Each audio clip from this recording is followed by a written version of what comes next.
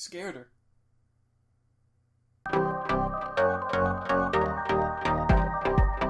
Hey there, Internet Best Buds, and welcome back to the channel.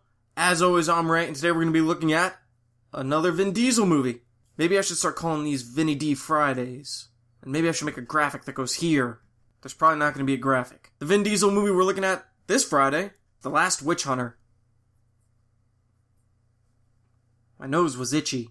So Vin Diesel plays a witch hunter named Calder, and after a battle with the Witch Queen resulting in her death, Calder is cursed with immortality.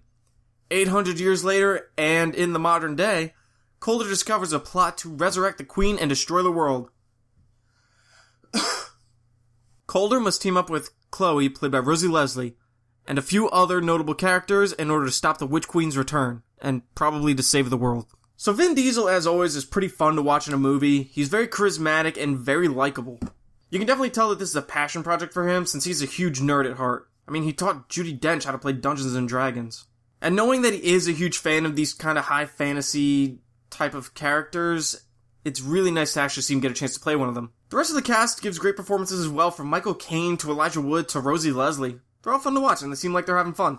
Also, the relationship between Michael Caine and Vin Diesel's characters is really interesting to watch.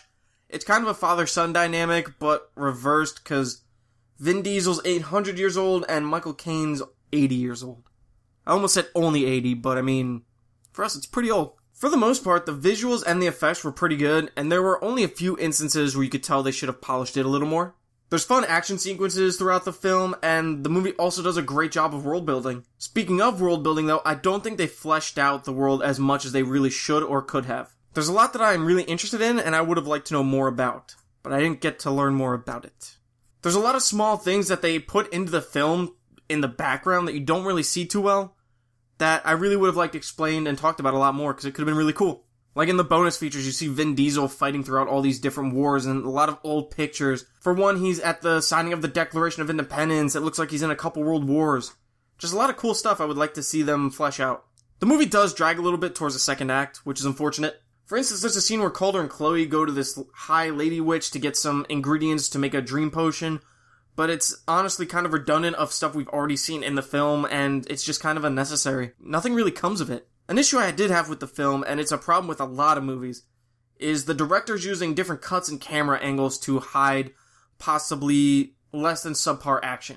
The movie does have good action sequences, and I feel like if they do more wider shots, it would come across better. The John Wick franchise has absolutely spoiled me for this because all the action in those movies is on screen and you can follow it perfectly. There's really not many camera angle problems. And I mean, they do this in a lot of movies. It's not just this movie, it's action movies in general. In the end, the movie doesn't do anything that we haven't seen before, and it doesn't really do anything too groundbreaking. It is, however, I think a fun time to watch at least once, and if you're a fan of Vin Diesel and the way he acts, and his charm and charisma and all that good stuff, then, I mean, you'll enjoy the movie. The Last Witch Hunter gets a 6 out of 10. The movie does leave openings for a sequel, which I would be interested in seeing, and it is apparently in development hell right now. That's definitely because the film did not perform well in the box office. However, I would very much be up for seeing more adventures with these characters. I enjoyed the movie. It was good. My question for you, Internet Best Buddies, this week is what is your favorite Vin Diesel movie? Let me know down in the comments. I would tell you mine, but that would spoil next Friday's review. Wink, wink. And no, it's not The Pacifier. I don't think that's anybody's favorite Vin Diesel movie over the age of five. So I'll leave an affiliate link down below if you wanted to check out The Last Witch Hunter for yourself. If you're new to the channel, thanks for stopping by and listening to me talk about movies. Why don't you go down and subscribe so you can stay up to date with all the videos that I put out? If you're a returning internet best buddy, thanks again for coming back and keeping me company in the dark void of the internet. Even though it's kind of light out. If you could, give the video a like so I know that I'm doing good, and share the video with a friend. Thanks again for watching, everybody. See ya.